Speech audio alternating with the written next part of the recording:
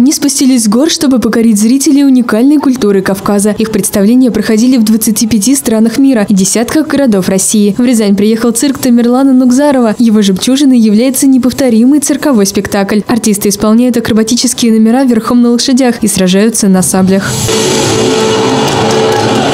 когда сходились, вырвав два кинжала, мужчины, как положено врагам, платок между ними женщина бросала, и два кинжала падали к ногам. И вот этот обычай кавказский, он очень такой э, замечательный.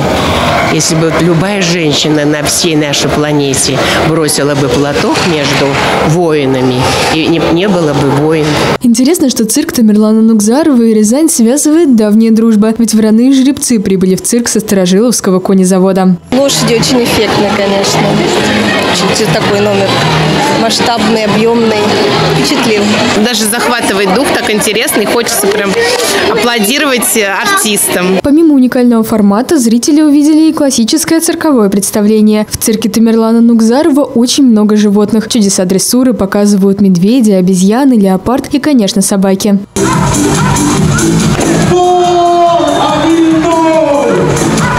Просто очаровательно, просто шикарно. Настолько ухоженные животные, настолько послушные, настолько костюмы красивые. Нам очень нравится. Одним из самых эффектных номеров стало выступление воздушной гимнастки. За ее движениями зрители следили с замиранием сердца. Грациозные повороты и сложные элементы Алена Цветкова выполняла без страховки под куполом цирка на высоте 15 метров. Настрой на работу перед номером, максимальная концентрация, ну и ежедневные репетиции, чтобы чувствовать себя уверенно там на высоте высоте. Дополнил оригинальную программу номер со светящимися шарами и брусками. Артист жонглировал ими в полной темноте. Ну и, конечно, цирковое шоу не могло обойтись без очаровательного клоуна, поиграть с которым успел весь зал. Очень хорошее впечатление. Завораживает вообще супер.